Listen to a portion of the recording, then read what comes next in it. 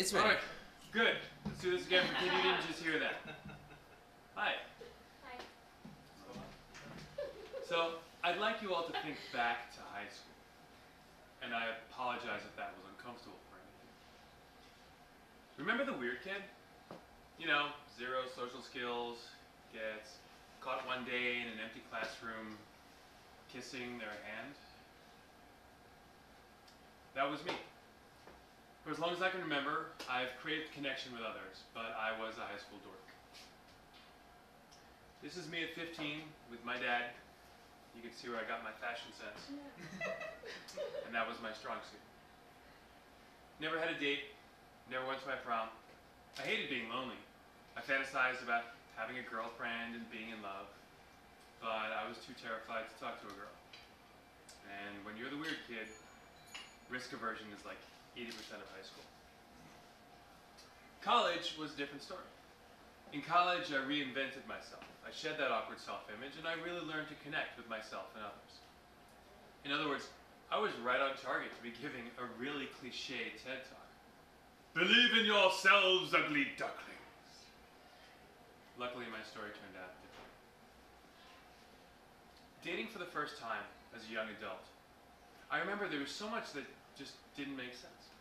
Like, why are we taught to play mind games to attract partners rather than just being ourselves? Why is friendship supposed to be affectionate but asexual? If I have feelings for someone, why am I not supposed to have feelings for someone else? And of course, how do I know if I'm in love with the right person? Most of my questions revolved around monogamy. You find one partner you like, and you stay together until either you break up and start all over with someone else, or enough time goes by and you take the next step up the relationship ladder. The progression goes dating, dating exclusively, engagement, marriage, kids, 50th anniversary, and die married. If you've done all that, congratulations, you win relationships. Any deviation, however, and your relationship is considered a failure. Of course, by that measure, nearly all relationships, no matter how enjoyable or educational, are failures. But that's the standard under which we're all raised and by which we're all judged. Since my oh so awkward stage, I've been very lucky and I've dated some amazing people. But none were a perfect match. I realized we each need to give up some of our needs or wants in order to fit the other's ideals. Now, some might say giving up some of your desires in order to make a relationship work is normal. But whether you consider compromise a necessary part of growing up or settling, it still means one or both of you aren't really being true to yourselves. Because no matter how compatible you are, the likelihood of any two people exactly matching all the other's wants and needs is minuscule. And then there are the wants and needs we don't know we want and need until our relationships teach us. For example, a possessive partner might show you the value of the time you spend with friends. A party animal might teach you that you really do prefer Saturday nights home on the sofa. The more we date, the more we learn. And even if we somehow find a match, people change. That's part of life. What I want now is not what I wanted five years ago or ten years ago. I imagine it's the same for most of you. What we want in five or ten years will be different too. It would be great if people in all relationships grew at the same rate and in the same direction, but that's not realistic. Most of us know people in unhappy relationships which have grown apart, but stay together, sacrificing their happiness for appearances, or the sake of the kids, or the fear of starting over at the bottom of the ladder. The worst part is, even though they know or suspect they're incompatible, they keep climbing. Finally, the one thing your perfect match can't be is someone else. Sure, you can role play or vary your routine, but the human brain craves variety and stimulation, and occasionally baskets of fries. I should stop doing that. The human brain craves variety and stimulation, and in monogamy, the only way to experience someone new is to break up or cheat. And breaking up and cheating is what we do. Half of all marriages end in divorce. Three out of every four people will experience some form of relationship infidelity. And we all know people in successful relationships, which may never break up, but are far from successful. Being a romantic, I never wanted to commit to someone only to become a statistic or miserable because we weren't perfectly matched. But being logical, I knew there was no such thing as a perfect match. I still wanted my fairy tale romance, and I dated more and more, but I never found it. This being New York City, I did the reasonable thing and started seeing a therapist to find out why. Had I just not met the one? It certainly wasn't for lack of looking. What was wrong with me that I couldn't have what everyone else seemed to have? And then I went on a date with Beth. According to her OkCupid profile, Beth was smart, creative, and polyamorous. And over dinner, learning about polyamory changed my life. Audience participation time. Show of hands. Clean your hands up. Ready? How many people here love their families? Okay. How many love their friends?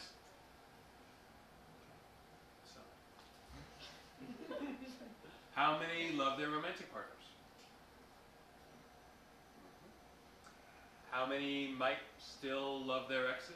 Don't raise your hand if this will get you in trouble. Well, hopefully we can all honestly say we love many people in our lives, which is phenomenal. Love, all love, is meaningful, and it gives our lives meaning. It deepens connections. It feels great to share. It's free. It doesn't even have calories. So, why should we limit it? Are we only able to love one person at a time? No, not at all. We just covered that. Besides, love is not a zero sum game. Love is not a zero sum game. Imagine having a child whom you love wholeheartedly.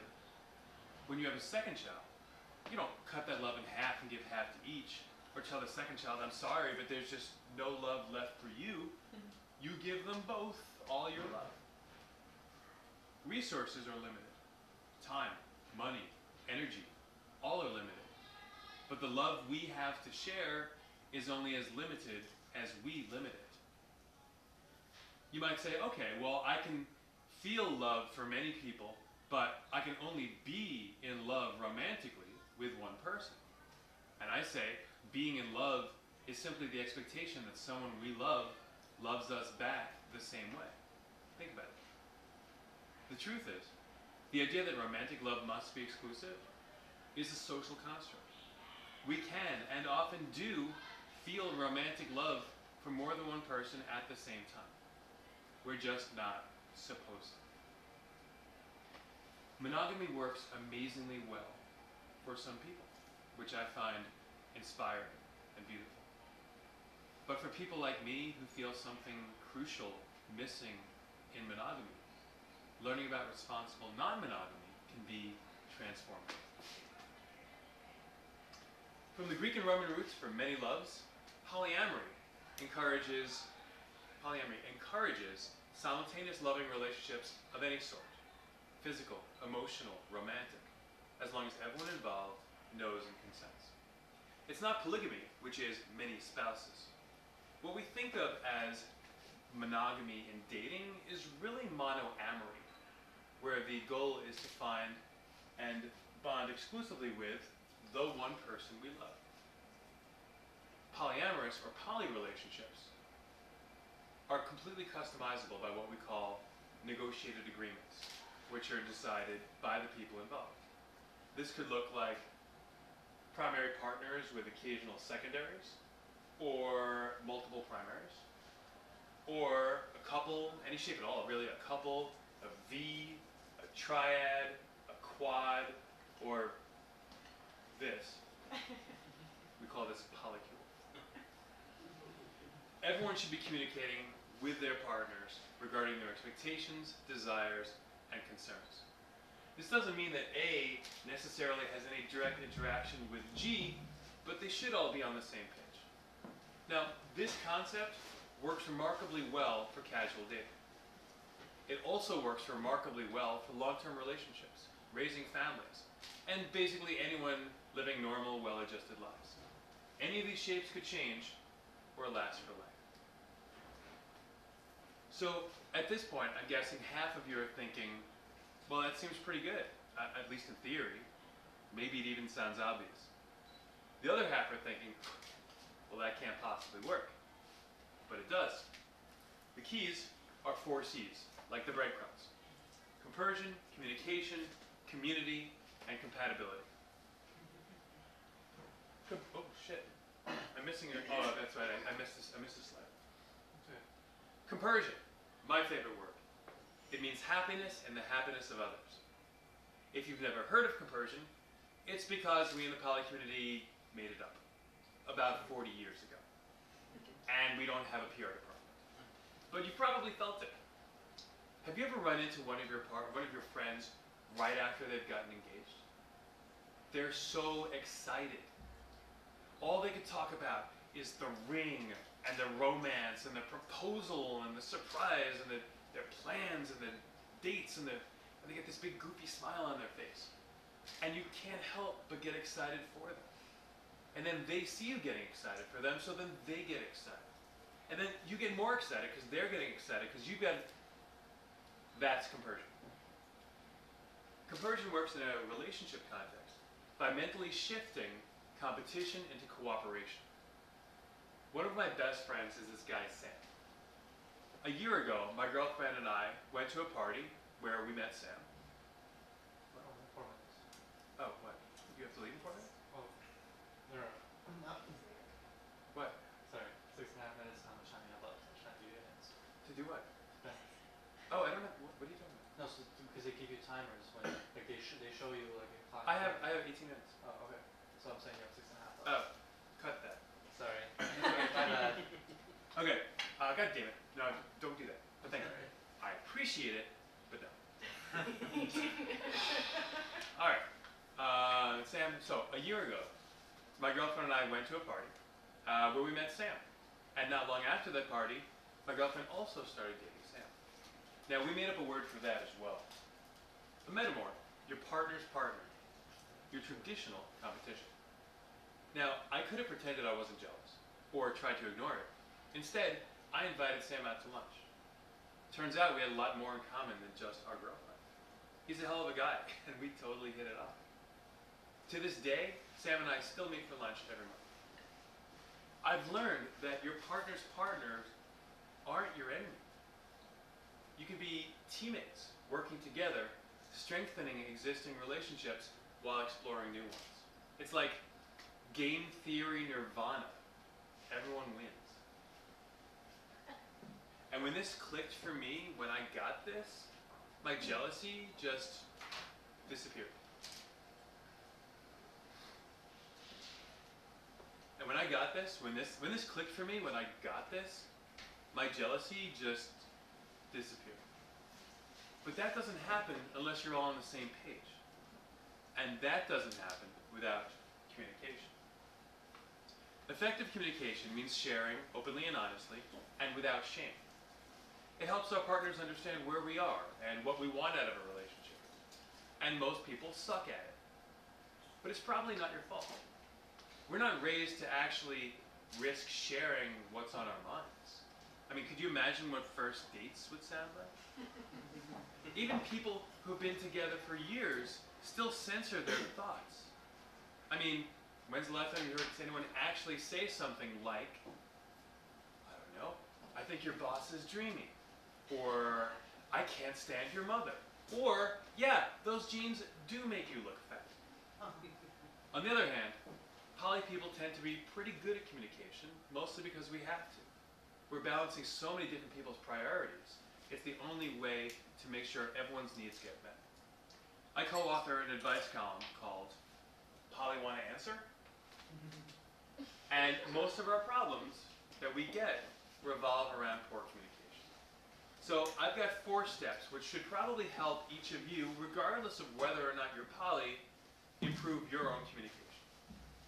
The first step is always identify what is it you really want and need, which is harder than it sounds. Step two, share your wants and needs with others in ways they understand. Three, listen open mindedly to others' wants and needs. And four, clarify agreements and boundaries. Basically, the overlaps get you both what you need. You can see which of your needs aren't being met, and you have a partner willing to help you expand your comfort zones. If you partner with more people, you can get more of your needs met while safely exploring more boundaries and understanding that this can be both healthy and fulfilling is the key to polyamory. Besides, I really like Venn diagrams. When you combine compersion with communication, you build community.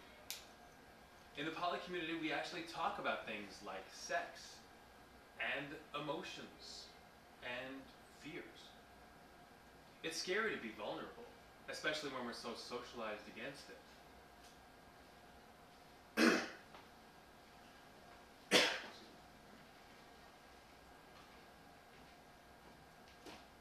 It's scary to be vulnerable, especially when we're so socialized against it. But with the support of community and safe space, problems don't have to be secrets. Since discovering the polyamorous community, I've met literally thousands of poly people of every race, color, religion, gender, orientation, sexual identity, and tax bracket, including many I'd known all along but had no idea they were poly. Wish they would have worn signs or something. It would have been so much easier.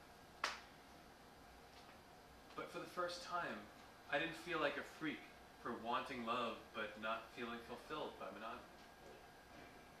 Polyamory community helped me realize that I was always polyamorous, I just never had a word for it. And being part of the community now has allowed me to mentor others while continuing to learn myself. Last year, the very first publicly polyamorous house in New York City was created right here in Bushwick, and I was one of the community members that helped create it. Finally, understanding and accepting that one partner doesn't need to meet all our needs means the people in our lives can fit more naturally and organically without being pressured or forced into labels that aren't needed. And if something if something doesn't work, we don't need to disconnect over it. Rather, we can connect over the things that do work. People also confuse love and sex all the time. It's axiomatic. We assume one implies the other. But while it's true that let, while it's true that sex can make love stronger, and love can make sex better, they can also be independent.